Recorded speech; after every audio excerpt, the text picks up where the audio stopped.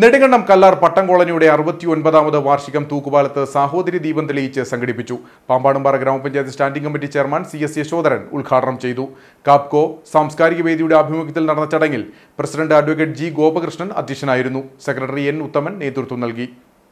ഇന്ന് നമ്മളെ സംബന്ധിച്ച് നമ്മുടെ കേരളത്തിൽ തന്നെ ഇന്ത്യയിൽ തന്നെ അറിയപ്പെടുന്ന ഒരു പ്രദേശമായി ഇത് വളർന്നു വരുന്നതിന് പത്തനാടുകളുടെ നേതൃത്വത്തിലുള്ള ആ ഗവൺമെന്റിന്റെ കാലത്ത് നമുക്ക് പതിച്ചു തന്ന ഭൂമിയെ സംബന്ധിച്ച് അദ്ദേഹത്തെ സ്മരിക്കുവാനും അറുപത്തൊമ്പത് വർഷം പിന്നിടുമ്പോൾ പത്തനാടുകളുടെ ആ മഹാനായ വ്യക്തിയുടെ ഓർമ്മകൾക്ക് മുമ്പിൽ എല്ലാവിധ നമ്മുടെ ഈ പ്രദേശത്തെ വരും തലമുറയ്ക്ക് ഓരോ വർഷം കഴിയും തോറും അദ്ദേഹത്തിന്റെ ആവിഷ്കരിക്കേണ്ടതായിട്ടുണ്ട്